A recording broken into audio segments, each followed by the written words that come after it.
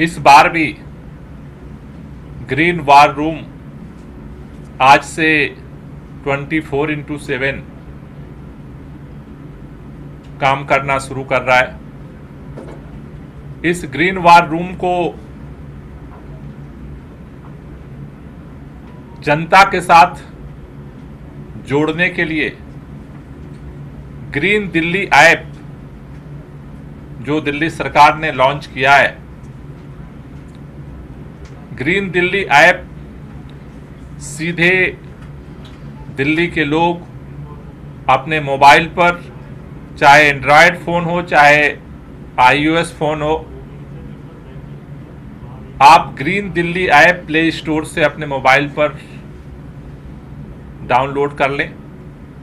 और आप दिल्ली के किसी भी कोने में, कहीं पर भी, अगर किसी तरह के प्रदूषण को फैलाने वाली गतिविधि आपको दिखती है, आप उसका फ़ोटो लेकर के कंप्लेंट इस ग्रीन दिल्ली ऐप पर आप भेज सकते हैं। जो दिल्ली भर से कंप्लेंट आएगी, वो सीधे वार रूम में आती है।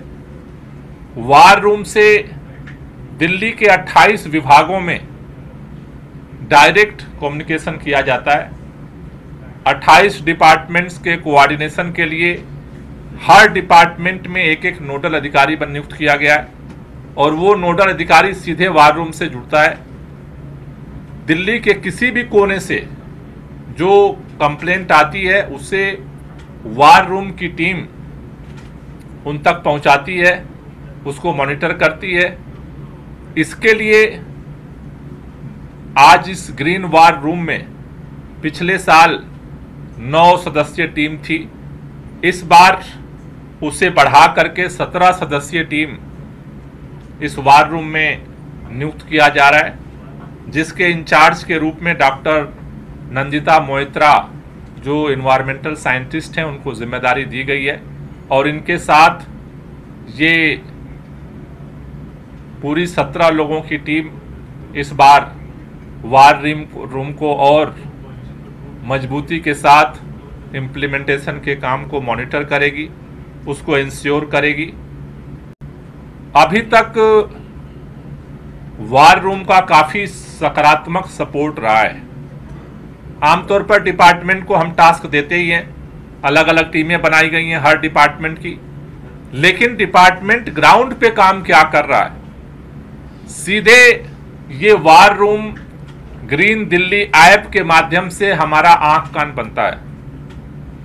डिपार्टमेंट जो बात कह रहा है और जो ग्राउंड से हमें कंप्लेंट आती है, उससे हमें पता चलता है कि कौन विभाग कैसा काम कर रहा है, किस एरिया में ज़्यादा पोल्यूशन की समस्या हो रही है।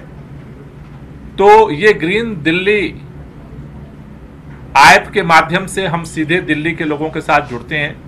और हम दिल्ली के लोगों से भी चाहते हैं, क्योंकि अगर आज दिल्ली के अंदर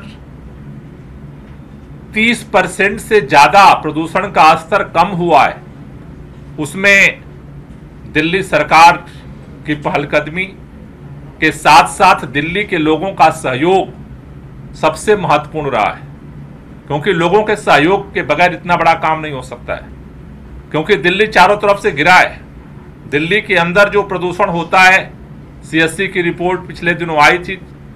सर्दियों के मौसम में जब सबसे ज़्यादा प्रदूषण होता है 31 परसेंट दिल्ली का सोर्स है 69 परसेंट बाहर के एनसीआर के सोर्सेज से आता है। तो ऐसे में सभी लोग मिल करके जब प्रयास करेंगे, तभी हम इसमें सफलता प्राप्त कर सकते हैं। इसलिए मैं दोबारा दिल्ली के लोगों से अपील करना चाहता हूँ कि आप ग्रीन दिल्ली ऐप डाउनलोड करें। कहीं भी कुछ भी दिखता है, आप भेजें। वार रूम उस पर तत्परता के साथ काम करेगा डिपार्टमेंट के साथ कोऑर्डिनेशन का काम करेगा, और इसके निपटारे की तरफ़ हम बढ़ेंगे।